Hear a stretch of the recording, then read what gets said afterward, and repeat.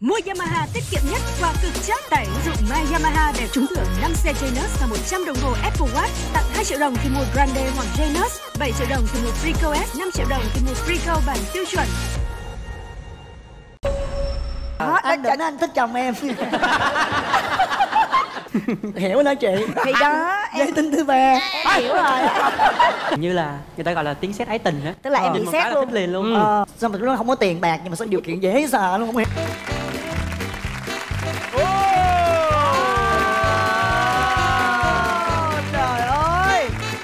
thôi bây giờ chào khánh chi. À chào quý chị xin vị nhìn bên này?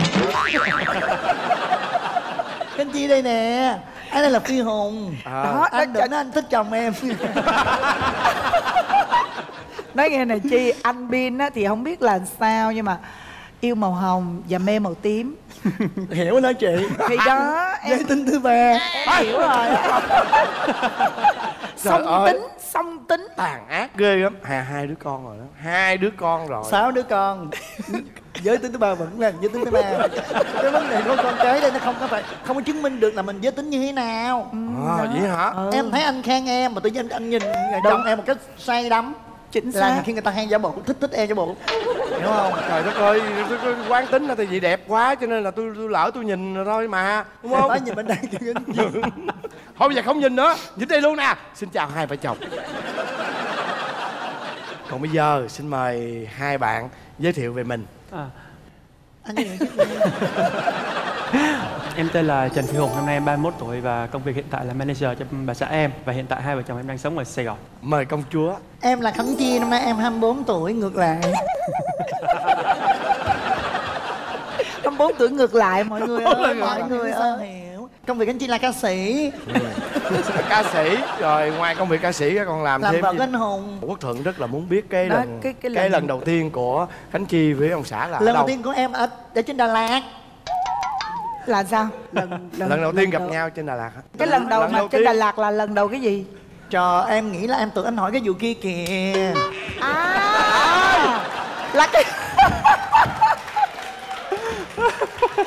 em em ơi tại sao em nghĩ anh trần tục như vậy? Tại sao? Vào đầu nè. câu chuyện mà em lại hỏi em tưởng tượng là anh hỏi em cái câu đó Anh liền. ơi em xem rất nhiều số Em thấy anh cập nạp anh cũng hỏi về vấn đề đó. Em tưởng là anh hỏi vấn đề đó Tại vì em thấy anh rất thích về vấn đề đó Nên em mới trả lời vấn đề đó. Đó là cái, cái cái anh bin là không có thích mà là À. thèm khác Anh bị thiếu thốn nè. Với lại anh nói chuyện không có rõ ràng. À. Đúng không? đúng Chứ rồi. Chứ ta hỏi là lần đầu tiên là các bạn gặp nhau ở đâu? Không có chữ gặp nhau nha. Có không? hồi nãy có gặp chữ nhau. gặp Không hề nhau. nhau. không hề có chữ gặp nhau luôn. Vậy lỡ rồi nói luôn đi em. Đà Lạt đồi núi chớp chuông. Đà Lạt trời mấy trong xanh. Cái này nghĩa chắc để em kể đi. Lãng mạn lắm đúng không Chúc quốc à Lúc đó là quen nhau khoảng à, 2 tháng. Hơn khoảng gần 3 tháng thì à, bữa đó bà xã em có cái MV quay ở Đà Lạt. Ừ. đó tức là Nói chung ra để em kể. Hai đứa quen nhau. À. Nhau ở Sài Gòn. Nhưng sao sao phi hùng nãy chồng em nói gì nhưng mà chất quất à? Em hẹn lên trên đó rồi thì bản thân em mình cứ nghĩ là đinh đinh à. Chắc lên trên đó là mình sẽ được nhưng mà cuối cùng lên trên đó cũng lại hẹn là Đâu có hẹn đâu anh Hẹn bữa sau thôi chứ đâu có hẹn đâu thì em cứ hẹn là cứ bữa sau bữa sau bữa sau mà chứ tức là gần một tuần trời cứ Nhưng mà- hẹn hẹn hẹn hẹn hẹn. à, à em hẹn anh cuối tuần đó hả Chị hẹn hò đó chị Tại vì là Ừ. sáng sớm 6 giờ phải dậy make up Quay À. tới khuya luôn Em hỏi chị sức khỏe ở đâu mà À. Mà mình suy nghĩ tới chuyện Tới cái ngày cuối cùng Mới không hẹn nữa bà xã em tức là hẹn ngay từ đầu đến bây giờ đến thời điểm hiện tại bây giờ là cái chuyện đó cũng hẹn cái chuyện đó cũng hẹn luôn. hẹn luôn. Công việc Khánh Chi bây giờ làm Sắp thời trang Sáng là ngủ dậy live stream Mấy tiếng đồng hồ thì nghỉ nghỉ ngơi. Xong rồi cái bữa tối nào mà không đi hát hay không đi quay Thì tối phải live thêm buổi nữa. 3 tiếng hai buổi là 6 tiếng. Trời ơi. Live xong rồi buông ra là mệt rồi Mà thay bảy tám chục cái đầm Hỏi còn sức đâu nữa mà tôi suy nghĩ chuyện khác. Cho nên hẹn đúng Em không? phải hẹn thôi Em phải đành lỗi hẹn chiều nay. Thứ này là sự thật là có khi cả tuần em còn không được nữa chứ đừng nói là một lần. Có ghi sổ nợ không? Bây giờ sổ nợ giờ nó chồng chất luôn á chị. Nếu mà tính tính ra mà trả nợ cho em thì chắc là phải trả trong mấy tháng mà ngày nào cũng làm thì mấy mấy tháng mới hết được. Ở em phía- ác thiệt luôn á chị. Thiệt nhìn em như cái ly kem dâu vậy á. Người ta muốn ơi, ăn mà- mà em cho người ta ăn kiểu sao được. mà tâm địa giống như đi chè đậu đen vậy. mới đầu thì sao không được nhưng mà khi mà đã sống vợ chồng với nhau một năm mấy rồi thì cái vấn đề đó nó, nó, nó hạn chế lại nó sẽ tốt hơn. Chứ mà thường xuyên quá nó, nó, nó, nó bị chán nhanh ờ, cho nên hẹn hoài đúng em không? phải hẹn thôi. Em hẹn hả? rồi bây giờ quay trở hẹn. lại lần đầu tiên coi như là phi hùng gặp khánh chi ở đâu? Hôm đó là bé mà lái xe hơi cho khánh chi á là đi nhậu. Bé đó là vừa lái xe hơi và vừa chỉnh nhạc cho khánh chi đi hát luôn. Mới nhắn cho khánh chi một tin là chị nhờ ai chở chị rồi chỉnh nhạc giùm cho chị luôn nha thì mình suy nghĩ không biết mình nhờ ai thì mới nhắn cho một đứa em. Thì à, bé nó mới nói là em có ông anh ở với ở dưới Vũng Tàu rất là thân mà em hẹn ảnh là hôm nay ảnh lên chơi với em. Bây giờ nếu mà em chỉnh nhạc cho chị chị cho em dẫn ảnh theo nha. Ừm. cái à, à, lúc đó thì khánh chi thực sự là đang sống cô đơn mới chia tay người yêu trước à, là được một năm mấy qua đón. Thì thấy hai người đi ra thấy cái to cao thấy cái mặt cũng sáng sủa. Nói chung ra là mình thấy anh này nhìn mình hoài. Ờ. Nhìn từ đầu tiên đã nhìn rồi. Ờ. Cái ra hát xong cái à, em nói thôi gì đi ăn đi rồi về. Ba người đi ra ngoài à, bùi viện uống hết chai xong uống thêm chai nữa. Xong uống thêm chai nữa. Uống xong xăng hết thì mới mới mới đưa về. Đưa về thì lúc đó rồi là bắt đầu mới à, cho xương thở nhau. Là, là, là từ hôm đó. À. biết nhau từ hôm đó bắt đầu về là hai đứa nhắn tin nhắn tin nhắn tin. Sáng đêm. Bạn này đầu tiên mà gặp chi một cái là là cái cảm xúc em làm sao? Kiểu như là người ta gọi là tiếng sét ái tình á. Tức là em Nhìn bị xét luôn. thích liền luôn. Ờ à, mà thực ra là bản thân em á không uống được bia. Không À. có bia. rượu là em không uống được mà hôm đó em uống rất là nhiều luôn. Em bị tiếng sét ái tình á. Dạ. Là do đâu cái body đẹp quá. Bữa đó mặc đồ đi hát rất là sexy. À, em cũng có tà ý từ ngay lúc đầu mà dễ sợ thiệt chứ. Có ý thôi chị em có tà đâu chị. Ồ đó. Chị sao chị rất khoái cái miệng của chi nha. Chi nói cái miệng có duyên lắm. Chung chiếm mà chị? Ừ Ờ. dễ thương lắm nhưng miệng. mà nói chuyện á anh anh có cảm giác như em em hay bị lớn tiếng á chi em nói to lắm. Ồ. Em với mẹ em nhà nói chuyện rất là to. Vậy hả? Người Ừ. ngoài ta đi ngang ta tưởng là rây lộn nhưng mà thật sự không có gây lộn trước chi là em đã có bồ chưa dạ, có yêu ai chưa? trước đó thì có. Thì nói chung là cái thời gian mình đi học mình đi làm ở phía ngoài thì À. tất nhiên là mình phải có, là có người yêu rồi. Dạ, ừ nhưng mà khi em gặp chi rồi thì em thấy là chi có khác biệt với, với tất cả những người yêu của em không? Chính xác. Em thấy là gần như là khác hoàn toàn. Ừ. em thích vợ em là thẳng là tính. Không có lòng vòng bất cứ một cái chuyện gì á. Giải quyết xong là thôi. Ừ. Ừ. à, và cái thứ hai nữa là dễ thương đẹp. Đẹp. Biết quan tâm và yêu thương gia đình em lần đầu tiên mà vợ em về thăm ba mẹ ruột của em á. Thấy ba má làm thì cũng sắn tay sắn chân mặc dù là ca sĩ nhưng mà vẫn nhào vô làm. áo nhào vô làm. Ba mẹ cũng không cho nhưng mà vẫn làm. Ngay, ngay từ cái lần đó thì em em xác định là đây sẽ là cái người vợ tương lai của em. Là trước đó là chị có chia sẻ là chị đang rất là buồn rất là cô đơn trước đó em chia Vì- tay một mờ với là người yêu em đằng năm mấy hai năm. À, và cái ngoài ngoài cái việc là em chia tay với người yêu thì em còn gặp phải một cái vấn đề gì không để khiến cho em em trong cái cái tâm trạng là buồn phiền như vậy sau khi live show ờ, nếu em được chọn lựa của em khi bắt đầu em làm gái về hai năm sau em tổ chức cái live show đó thì em mới bị thất bại cái live show đó em lỗ gần 2 tỷ. Sau khi thất bại cái live show đó thì em với là người yêu em mới chia tay. Trong thời gian một năm mấy em rất là buồn là vừa sự nghiệp à, vừa kinh tế và vừa mình vừa chia tay người yêu nữa. Cho năm ra là lúc đó các anh chị đang rất là cô đơn là rất là buồn và rất hụt hẫng thì lại gặp chàng trai này. Nhưng mà cái điều gì mà làm cho em em cảm thấy là em yêu cái chàng trai này? Đầu tiên quen nhau tìm hiểu cái tiền đó. Là dạ em nói thiệt với anh luôn. Tất cả mọi người nhìn vô nghĩ, nghĩ là em rất là giàu. Nhưng ngay cái thời điểm này thật sự là thời điểm em khó khăn nhất. Bảy tám tỷ bạc là hết trơn không còn tiền. Mà phải mắc nợ mấy trăm triệu. Ba bốn trăm mà trong vòng 4 năm nó lên một tỷ mấy. Em đóng lời á. Tại vì khi mà tiếp xúc được một tuần lễ 10 ngày mình thấy cái người này ok tính tình được hợp với mình nên em nói thẳng. Tại vì em mắc nợ nhưng mà em ra được em vẫn vẫn đẹp vẫn sang trọng không ai biết em mắc nợ và không ai nghĩ em nghèo. Cho dù em có nói người ta cũng tin một tháng bây giờ đóng lời bảy mươi mấy triệu tiền lời. Trời em khủng hoảng em nói thật sự.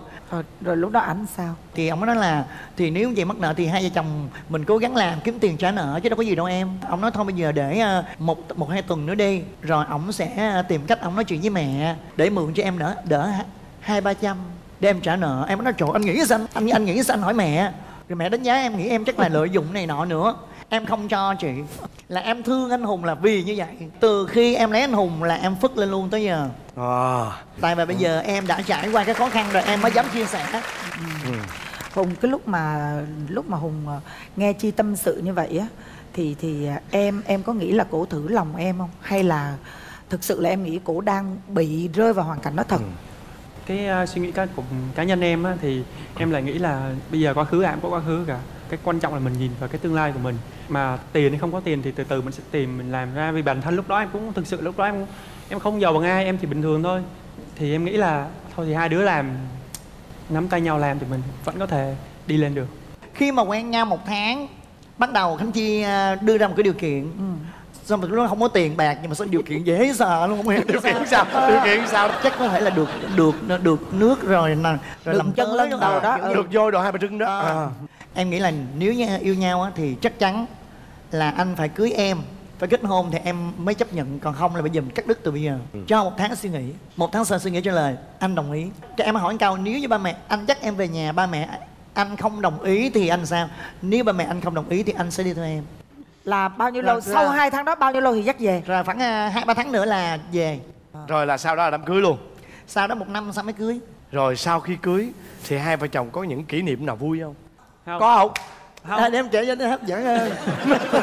Hồi nãy giờ nó chưa nói được cái gì luôn kìa. Đi pháp tức á. là cái hôm đi pháp mình vô mình check in hải quan đó chị. À, hai cái passport với lại à, vé máy bay á À. thì là bà xã cầm xếp hàng xong rồi vô cái tới mọi người check in á, hải quan á À. không biết bà xính xa xính xác sao á ông kêu em là mở hai bao em mở coi ra đi. coi tên cho chính xác là người tên trên vé bay và cái tên passport nó phải khớp với nhau thì mình mới qua được hải quan passport là passport bà xã Ờ. mà vé máy bay là vé máy bay của em ờ. check in hải quan nó không cho em qua ủa nhưng mà còn còn cái passport kia đâu nói chung này nè ông kể ông không không bởi ông này ông không biết kể chuyện. Này nè ghê bởi vì em xứng xa xứng sắc em móc hai bánh bao em đưa đại em không coi. Ờ.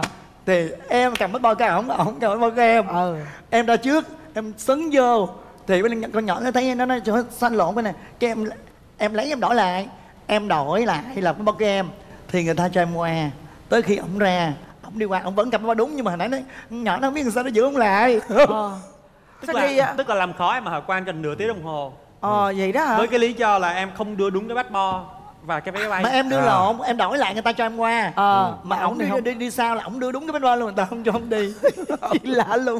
Mà hiểu ổng bị giữ nửa đó, tiếng ừ. hồi ổng ra ổng nói bà xứng xa xứng xác. Tôi kêu bà nãy ha chuẩn bị chuẩn, chuẩn mà bị. rõ ràng là em nói rồi là kiểm tra cái passport cái visa và cái vé máy bay cho nó khớp đi. Em làm quản lý mà em tin nó làm chi? Em phải gom hết. Chưa nữa chị chưa đi qua bển xong rồi diễn xong rồi. Cái vé bay á là 8 giờ 50 sáng để em kể. 8 giờ 50 sáng bay. À. em nhìn là 8 giờ 50 tối.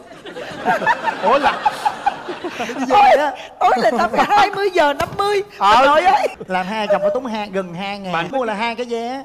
nói rất là như kiểu là rất là đúng rồi là chắc Ờ. chắn chắc nịch là Như đúng tám- rồi đó. tối tám giờ năm mươi bởi vì anh ơi. rồi bây giờ tiền ở nhà là nó cầm hay em cầm? Em cầm. Ờ đúng em rồi dám đó. đưa cầm chết liền chị đang xua suối á Ờ. nếu mà đấy là em phải giật lại. anh hùng là giữ cái xác nhưng mà thẻ là em giữ với chìa khóa em giữ. Thẻ thì không bao giờ biết password. À, tiền là em rút quyết định chi tiêu là ai? Hai người Hai cùng, người. cùng À. đồng ý đưa ra cái quyết định chi tiêu thì mới chi.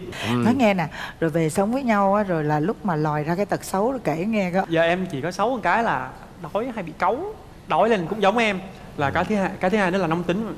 Cũng nó giống em luôn vì hai đứa cực kỳ nóng tính. Khi hai cả hai đều nóng tính lên thì cách giải quyết cái vấn đề đó như thế nào? Một đó là giải quyết luôn vấn đề ngay lúc đó. Giải pháp thứ hai là em sẽ không nói gì em đi ra. Vợ chồng anh chi có gì nào ví dụ ai mà làm lỗi cái gì đó thì cái người kia sẽ bắt là em xin lỗi anh đi hay là anh xin lỗi em đi là mình nói xin con xin lỗi làm bỏ qua chứ không có kéo dài. Ví dụ anh đang đang làm việc cái gì đó anh lớn tiếng với em cái em nói ủa em đâu có làm gì đó anh lớn tiếng với em.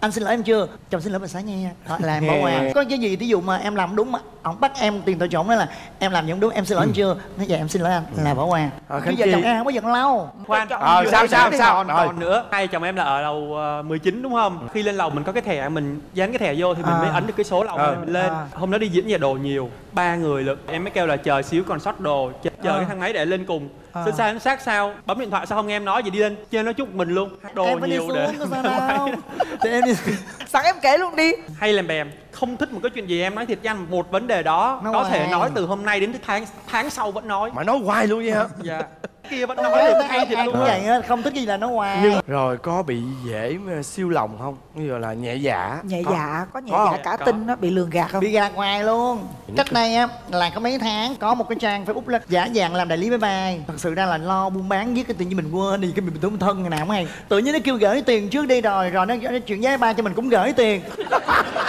nghĩ là thân rồi hay sao? Cái kêu gửi sai chồng cứ gửi chuyển 15 triệu cuối cùng nó không đưa vé gì hết.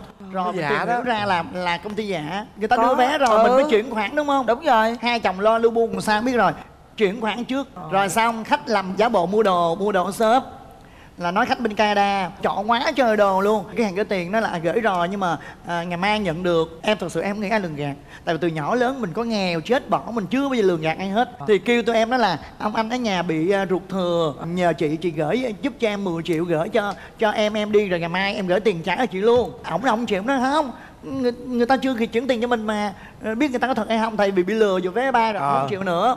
Em nói quá ông ông cũng chịu ông bắn cho cậu 10 triệu là mất tiếp rồi bây giờ là chỉ có bao nhiêu tính thôi đúng không? Dạ. bao nhiêu thôi cũng đủ mệt rồi đó. Nha đó. không em phải kể là tờ, tờ tính cho xong đây đây Rồi bây giờ nói nè. tới em tới em tới Ờ, em. em em anh thấy phi hùng rất là hiền nha khánh không chi. hề không hiền hề. lắm, nhưng mà tôi Chị biết một chuyện chị biết cái bạn này á bà cấm tiệc bạn này mà không được cho ăn một hộp cơm ăn cơm là sợ ăn thôi. Là hai đứa đều không ăn cơm. Nhưng gần đây chồng em là mua cơm trái chà bông với mỡ hành á ăn á rồi nghiện.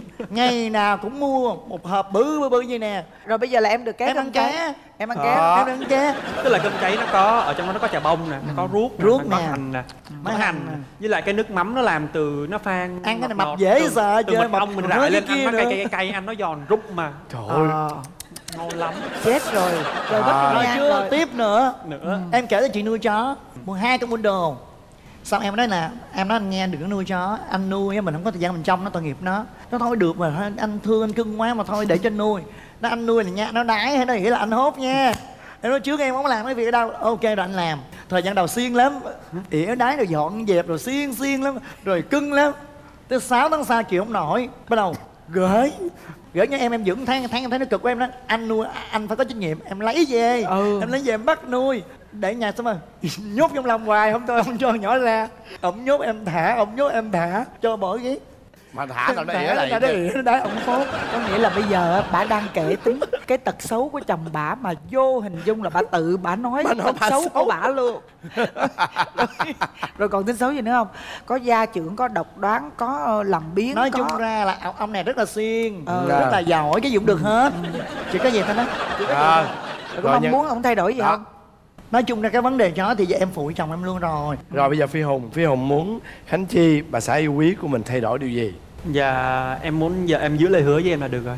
À đừng có hẹn. Đó. à chuyện hẹn hò đó. Bớt hẹn. Nói chung là hai vợ chồng em á là không có gì đâu mà mà lấn cấn nhiều. Ừ. tụi em sống với nhau là cái là cái gì nó bên cạnh nhau nhiều lắm. Ừ. đâm ra là như vừa là chồng vừa là một người bạn đời. Ừ. đâm ra là rất là hiểu nhau. Ừ. đương nhiên vợ chồng nào cũng không có ai hoàn hảo hết nhưng mình cố gắng để mình sống với nhau nó vui vẻ hạnh phúc thôi. Ừ. chị chị đừng đánh trống lãng chị.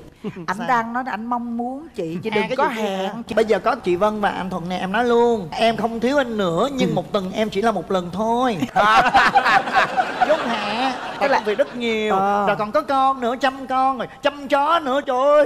Nhiều thứ lắm. Ờ. sao được không hùng hay là có mong muốn gì thêm. à, tạm chấp nhận được nhưng mà một tháng khuyến mãi cho em hai lần. Chị à nhiều khi đi đi du lịch cũng có tặng kèm chứ bộ. Kệ người ta xin cho đi tuần Ờ. lần rưỡi. Ờ. Em hứa Ừ, Rồi. nha. Chúc tụi em cứ dính nhau như vậy thôi mãi nha. cứ dính như sam như vậy nha rồi cảm ơn tụi mừng. em